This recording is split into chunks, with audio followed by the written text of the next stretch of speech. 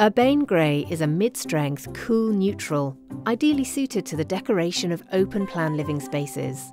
Include it as a focal point within an all-over scheme of loft white, or alongside woad as a powerful but elegant colour combination. Contemporary schemes cope well with the inclusion of a much brighter shade.